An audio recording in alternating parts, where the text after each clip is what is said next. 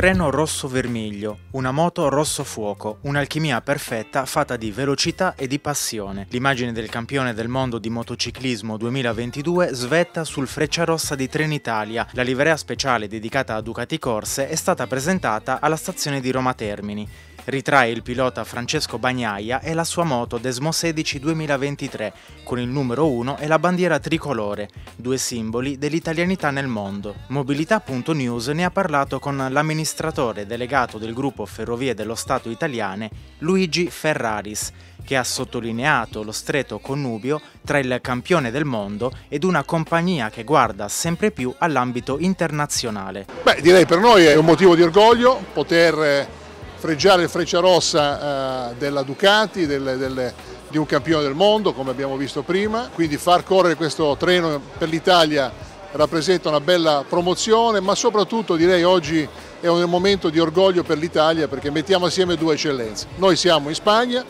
abbiamo lanciato recentemente l'alta velocità con i nostri Freccia Rossa, stiamo facendo bene, colleghiamo già Milano con Parigi, insomma siamo già proiettati in una dimensione europea in cui l'alta velocità vedrà come mercato di riferimento l'Europa. Il gruppo FS e Ducati sono simboli dell'italianità nel mondo, 100 anni a testa e non sentirli, sulla livrea del treno un pilota di 26 anni, il più veloce del mondo, che valore ha per i giovani? Per i giovani è che non c'è futuro senza storia e non c'è futuro senza progresso, innovazione e tecnologia. Oggi abbiamo un bel esempio di come aziende tutte italiane possono far bene investendo sulle persone prima di tutto, sulla tecnologia e mettendoci il cuore da italiano con grande passione.